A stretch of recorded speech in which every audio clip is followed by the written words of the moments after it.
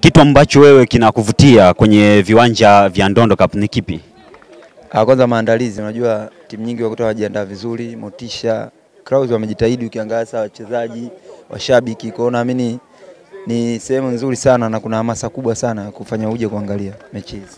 Tumeshuhudia baadhi ya timu uh, zikichukua uh, wachezaji kutoka kwenye timu za ligi kuu au ligi daraja la kwanza. Uh, wewe kama mshambuliaji, wewe kama mchezaji, sijakuona kwenye timu yoyote, tatizo ni nini? amna kawaida tu, nikipata ofa nacheza, si kawaida.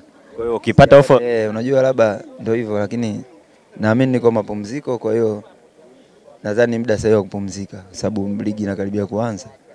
Kwa hiyo nadhani sidhani kama nita- nitashiriki. uh, ligi inatarajia kuanza. Uh, kwa nini ukutafuta chansi yoyote ile ya kuweza kujoin na timu walau hata mechi mbili tatu? Ah, ratiba ilikuwa imenibana, ukiangalia nilikuwa kwenye majukumu ya taifa, kwa hiyo nadhani ndio maana sikupata nafasi ya kuja. Okay. Uh, kwenye michuano ya Ndondo Cup ya msimu huu almost umehudhuria kwenye game nyingi. Uh, ni kitu gani ambacho cha tofauti sana umekiona kwenye michuano kama hii? Uh, kila, kila msimu naona mashindano yanazidi kuwa bora zaidi, sababu ukiangalia mwanzoni miaka ya nyuma kidogo vijana walikuwa na off, lakini sasa hivi naona vijana wanajiamini. Kwa hiyo naamini kila siku wachezaji wanazidi kubadilika, kwa hiyo itatoa fursa sana kwa vichezaji vijana. Ukitoa vitu ambavyo unavipata ndani ya dakika tisini, ni kitu gani ambacho kinakuvutia nje ya uwanja?